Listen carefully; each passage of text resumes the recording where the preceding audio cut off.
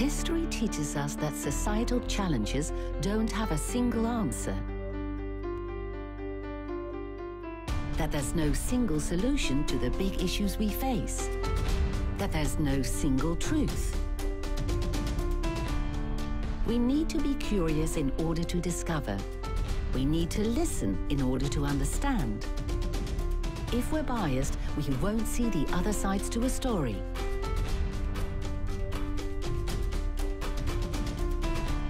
Protecting democracy and human rights, improving healthcare, harvesting energy in a sustainable way, supporting economic and technological progress, shaping society requires a broad view and an understanding that many things in life are interrelated.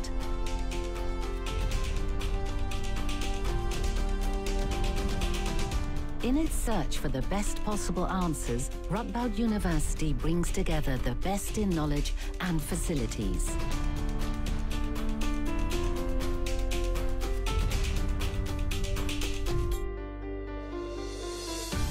Within seven faculties, teachers and researchers from over 50 countries explore all domains of science, working closely together with other institutes and civil society. With its state-of-the-art infrastructure, our green campus breathes openness, collaboration and shared ambition. It's a place where ideas come to fruition and talents can grow. Every day, we make an impact on society through our students, renowned scientists, leading thinkers and innovative businesses.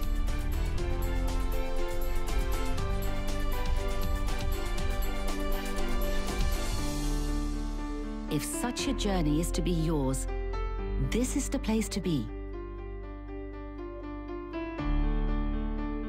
If you want to shape the future together with us, we invite you to change perspective.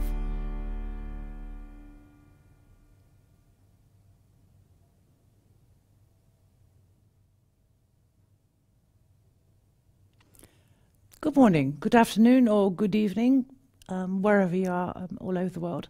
Um, I hope you've enjoyed that um, short video, which hopefully has given you a bit of an idea of what our university is about. And I'd like to welcome you all to um, this webinar about our English taught bachelor's program in international business communication. I'll probably call it IBC um, later on, hosted by the uh, Radboud University. My name is Berna Hendriks. Um, I'm the coordinator for this uh, program. Later on in the webinar, I'll be joined by uh, one of our um, graduates, Gwendolyn Behnke, who will give you a little bit of the um, student perspective of the program. Right, so what are we going to talk about um, today? Um, this is the agenda for this session. Um, I'm briefly going to talk about the uh, faculty and department. Um, I'll spend a little bit more time on the Bachelor International Business Communication in terms of content and how do we organize our content. I'll briefly touch upon career prospects. Obviously, if you're still deciding on which degree program to choose, then you're not perhaps worried about career prospects, but I'll tell you a little bit about the kind of jobs that our students um, or graduates get once they graduate anyway. Um, at the end, there's a Q&A session. Um, we'd like to make this session a bit of an interactive webinar. So if you have any questions, make sure you post them on the, the chat section in the, in the uh, on the page, and my colleague will um, pass the questions and try and answer them um, while you're while I'm talking. Right, first of all, so the video has given you a bit of an idea of what our university is about. But if you've not had time to check your Google Maps on where the Netherlands actually is. This is where we are. We're in Western Europe. And in the country, we're Nijmegen, so this is where the Radboud University is located, is on the border with um, Germany and is quite close to many of the um, international airports.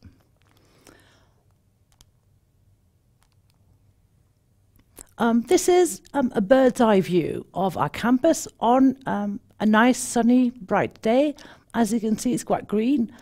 Um, our buildings, uh, and this is where you would be spending most of your time studying, our building is marked in the white um, circle. And if you look really, really closely, you can see the sports centre in the background with um, the tennis courts, football pitches, and rugby uh, pitches. Um, quite a high building, one of the highest building um, buildings of Nijmegen. Um, this is the view on the top floor. Um, the Faculty of Arts, and that is the faculty that organises this degree programme, is home to something like 2,400 students. We have 600 um, academic and support staff taking care of the year programmes um, organised in 10 different departments. So you would find the Department of German Language and Culture, the History Department, the Department of Dutch Language and Culture in our faculty, but also, and that is the department that will be important for you, um, the Department of Communication and Information Studies. Um, we are a quite big department in the, or one of the bigger departments of the faculty, 350 students combined in all our uh, programs, and we organise two bachelor degree programs um, a Dutch program, the BA Communication and Organisation, which is taught in Dutch, um, and the BA International Business Communication, which is taught in English, and that is the program that I'm going to talk about um, today. Um, it's a program that lasts three years. It's a full-time degree program. Um, and the language um, of communication, as I mentioned earlier, is um, English. This is um, a, a, program that we've been teaching for years, but last September, so this September actually, we uh, made the transition to having English as a medium of instruction. So in September 2016, we started with a whole new batch of students, 80 students this year. Um, the majority are still Dutch, but we do have 30 international students um, in this group. Um, we've listed the um, uh, the flags on the uh, on the slide. Some are from Germany, some are from Hungary, some are from Ecuador, um, Vietnam. So quite a range of um, international countries, which means that currently our classrooms are truly um, international, and we think that's quite a big um, asset in terms of our program, international business communication. Um, the main focus, if you were to ask me to sum up the program in a nutshell, I would say that the program is all about effective communication in a foreign language, taking into account any intercultural differences that there might be between different um, uh, people in multilingual um, organizations. And that means that in the three years of the degree program, we try and make sure that you gain the knowledge and the skills that you need to be able to function adequately as a communication professional in international um, organizations. And I'd like to stress that language in particular is really, really important.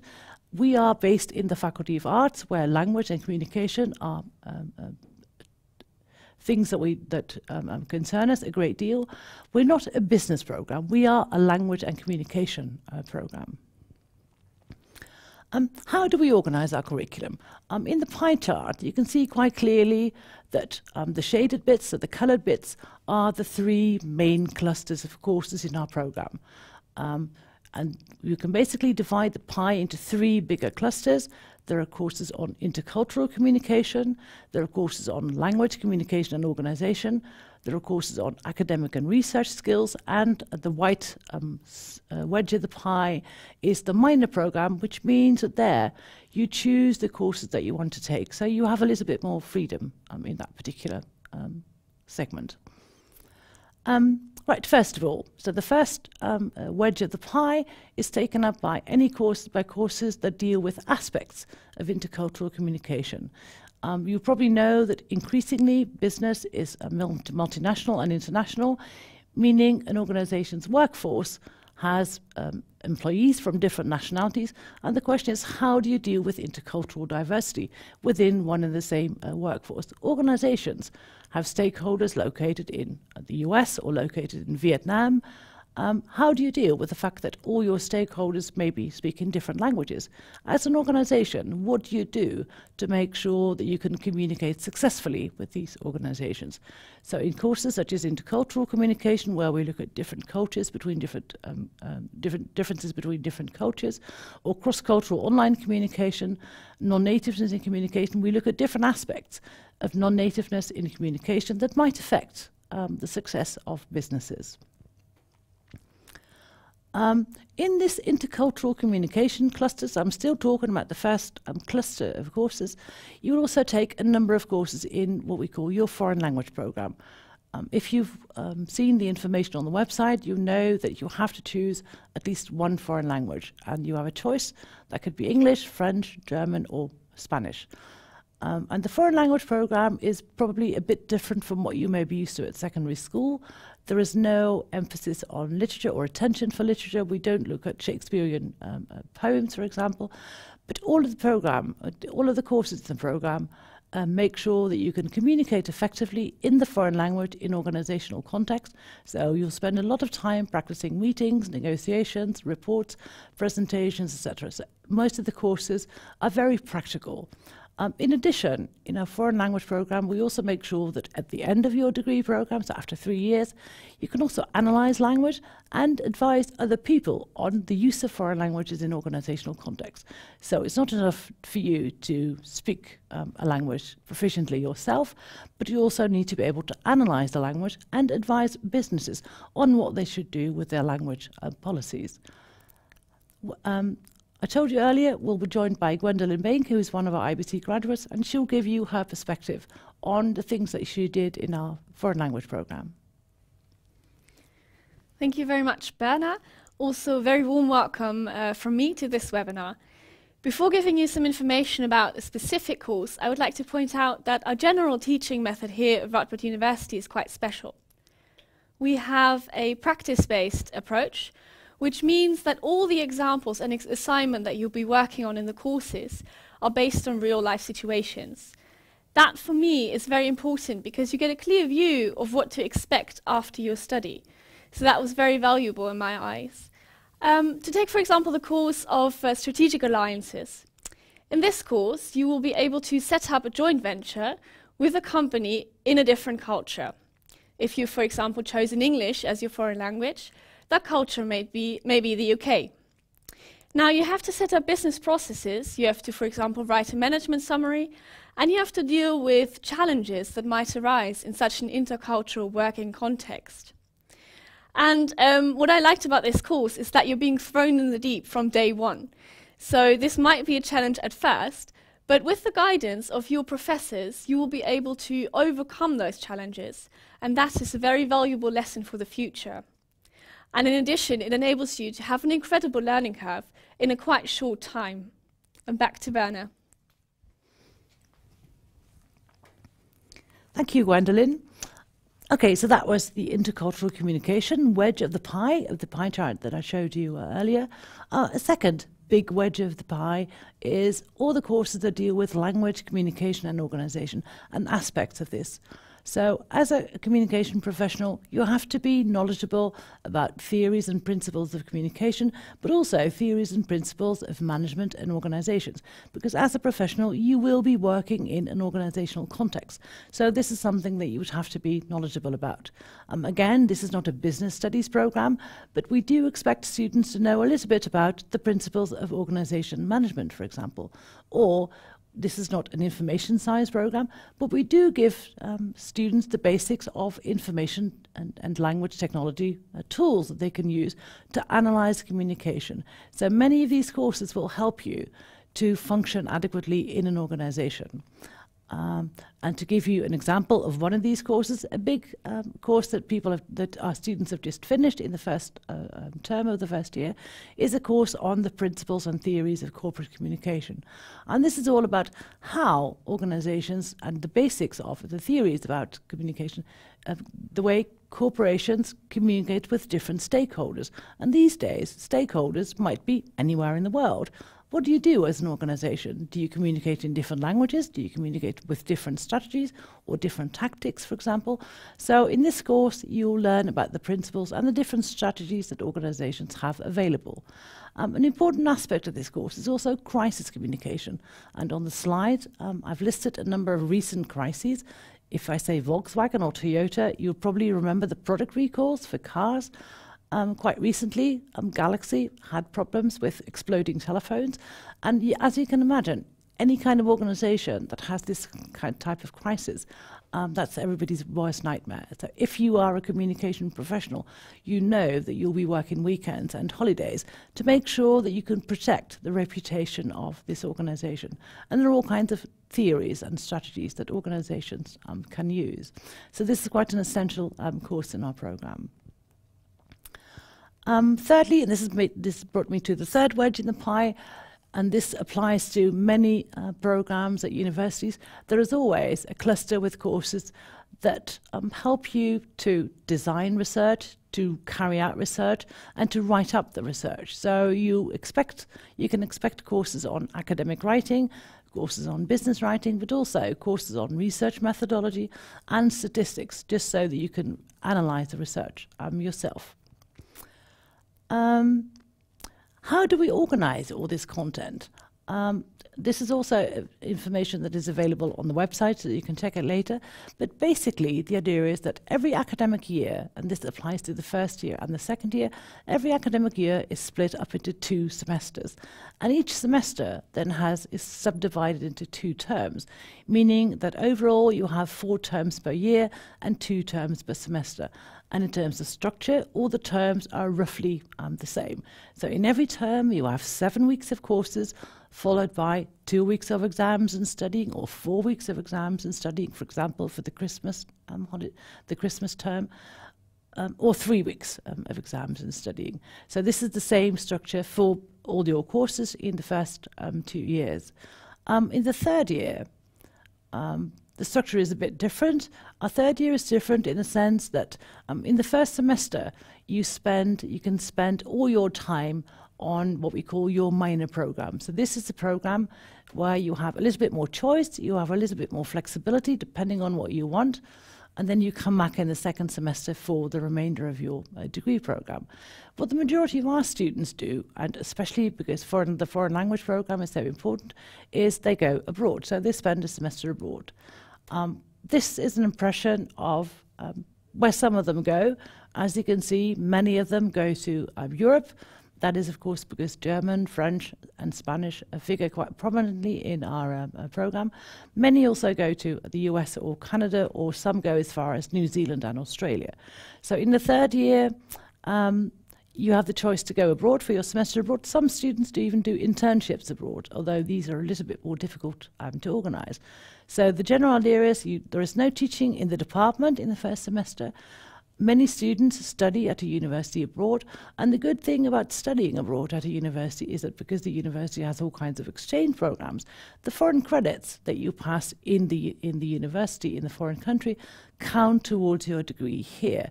So you don't lose any time if you want to spend some time in France learning French or in Spain learning um, Spanish. Um, Gwendolyn, our graduate, has also spent some time abroad, and she'll tell us about that right now. Thank you again, Berna. Um, I went to Japan for my semester abroad, and I can just really recommend you to um, make use of our numerous study abroad possibilities. Not only did my stay uh, broaden my horizon academically and culturally, but I also made friends for life. I think experiencing a culture that is very different from your own contributes so much to your personal growth, and it also looks very good on your CV. I was quite surprised at how easy the process of organizing this semester abroad was made for me. Um, from applying to my visa to finding the right courses to transferring the credits, Radboud University has really supported me every step along the way.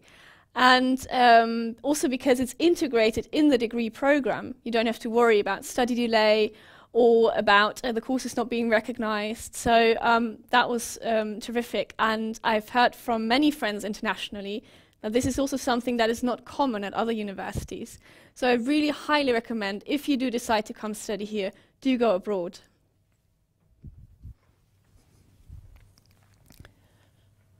And then hopefully, of course, you'll come back after your semester abroad, finish the degree program for your bachelor, and then the question is, of course, what do you do next? Um, there are some academic careers that you could uh, follow. Our own department offers one um, English taught uh, master program, International Business Communication, which is the advanced version, a little bit more in depth, taught at master level, a little bit more work too. Um, but you would also have access to the Language and Communication Research Master, taught by the Faculty of Arts, which is a two year program which has a selection procedure. Um, and in addition, there is also the Language and Communication Coaching Master, which is a one year program and that is focused a little bit more on coaching and um, education and teaching. Um, and then, of course, once you've completed your master degree program, you can start thinking about the job market. Um, it's always very difficult to talk about career prospects because careers, to some extent, depend on, I suppose, your semester abroad, what you did in your minor program, your own particular interest and, and ambitions.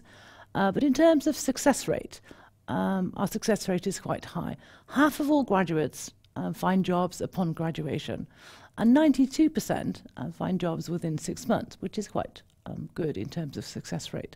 Um, a third, roughly, is employed as communication consultant in a business or an organization.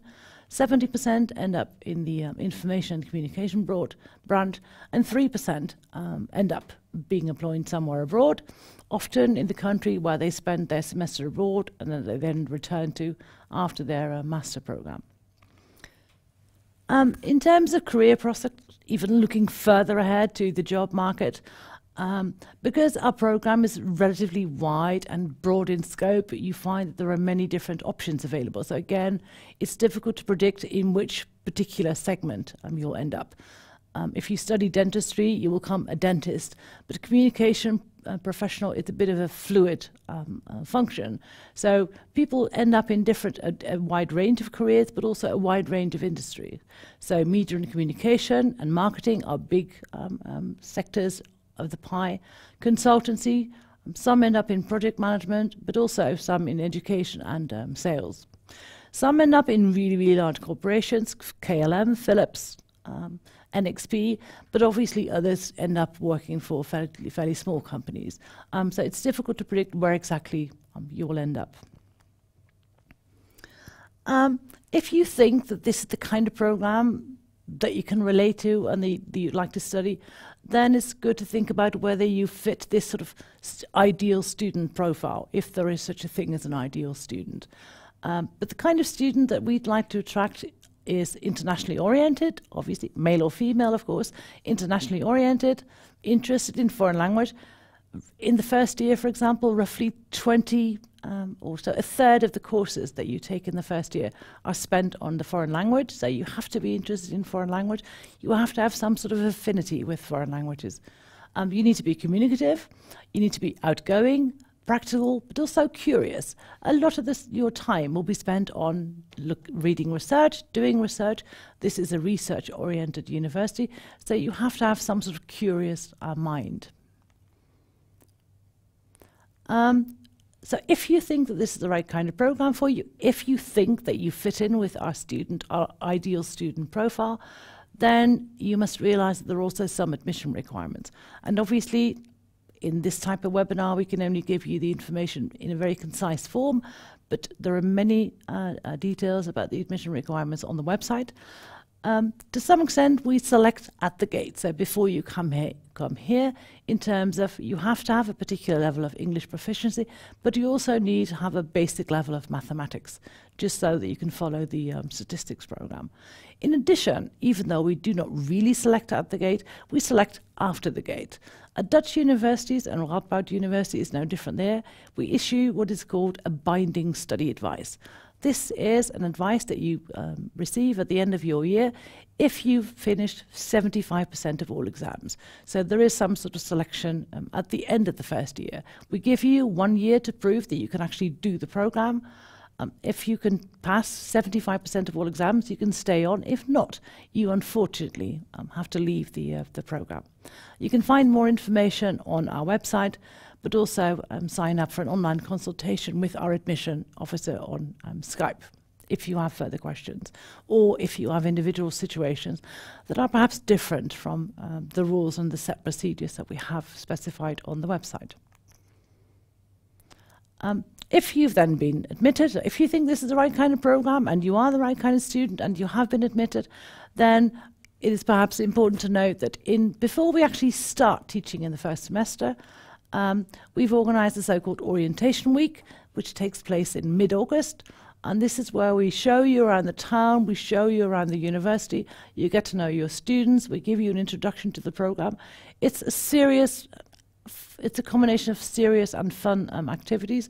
So this is actually a great way to start your um, um, academic year in mid-August.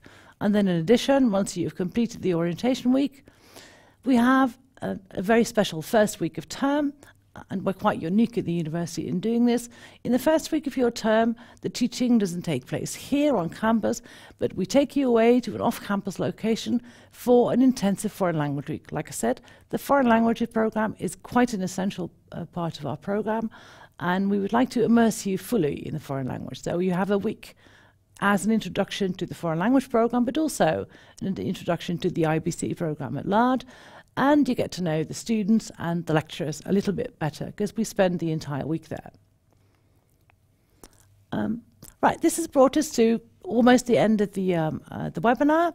Um, I asked you earlier on to post any of your questions in the, uh, the chat session, and Gwendolyn will now yes. tell us whether there's any questions that we can answer for a general, the general public.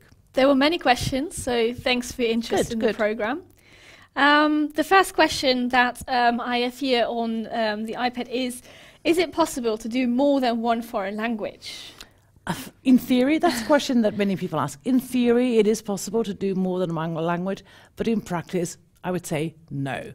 Um, in, to give you an example, in the first year, if you choose Spanish, then the Spanish program takes up 10 hours of classes a week. So if you then were to add French as a second language, you would have an additional eight hours, meaning that would bring the total to 18. But this is the foreign language program only.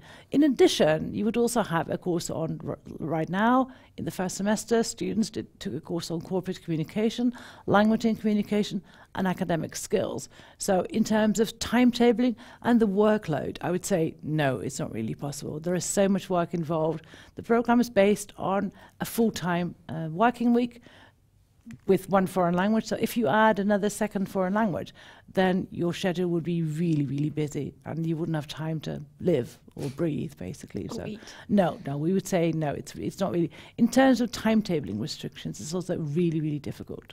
Yeah. Yeah, there might also be overlap in the class. Yeah, although it's a good ambition. Yes. Yeah. yeah. Um, the second question is um, Can I do a master's in management or marketing after graduating from IBC? Um, in theory, yes. Um, but having said that, I at the same time have to say that anything we don't actually offer that master, so that master would, I guess, be offered by the Nijmegen School of Management. They have their own admission requirements. Often, what happens, some of our students sometimes transfer to the Nijmegen School of Management to do a slightly different master, and then they do what is called a pre master program. So, many of these master programs might ask you to do six months or a full year of courses making up for any deficiencies before they allow you onto the master program. So that is something that you can actually, if you, that is the kind of thing that you're interested in, I would actually check a number of websites because all programs have their own specific admission requirements. So in theory, yes, but in practice, it does usually mean that you need to make sure that you make up for certain deficiencies in a pre-master program, which of course would require some an extra year or an extra um, six months. But it is, in theory, uh, quite possible. Yes, if Yeah. you are planning on doing that, I would recommend to look at everything from the first uh, day at university because, as Berna mentioned, you also have the minor um, space that you can fill with courses. So maybe Yeah. you can also fill some courses from your desired master in there to make it easier for you and maybe decrease the study delay. Yeah, yeah. That's an option. Um, the third and last question that we're going to discuss is Can I do an internship? Yes, you can do an internship, and it's actually something that we encourage. Um, I suppose if you come in for, from an international country, you would have to find, so to some extent, there is some help in helping you find internships, but it's not. Um, we have more contracts with universities to make sure that you can study abroad than we have with companies abroad, for example. So if you want to organize you can organize it yourself and you will give you the, the university will help you to get the contracts and to make sure that you have the right sort of contract but it is slightly more difficult to organize but there is time to do an internship I think some unit some students are actually right now doing i think we have two students doing an internship in canada or one in canada and one in spain right now because currently we have no third year students 90 of our students have spread out and flown to different countries and are all working or studying. So it is possible, but I must admit that it's a little bit more difficult because we do depend on the cooperation of organizations, and that's often more difficult in terms of making the contracts. Yeah, but it's possible. Okay, well, those are all the questions that we have time for now. Okay. Um, I'm sure our colleague also answered some questions in the comment section. And if you have more questions, you can always uh, contact us. yeah, and you can always send us emails, Yes. obviously, um, afterwards. Okay, thank you for joining the webinar. Um, like I said, this is a half an hour session, so there's no way that I can tell you everything there is to know about the program. But for more information, check out the uh, the Bachelor IBC um, uh, webpage.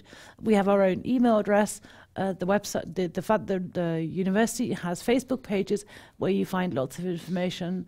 And we have our own admission officer, so she is quite happy to talk to you or talk to you on Skype or s- answer your emails. Thank you. Thank you.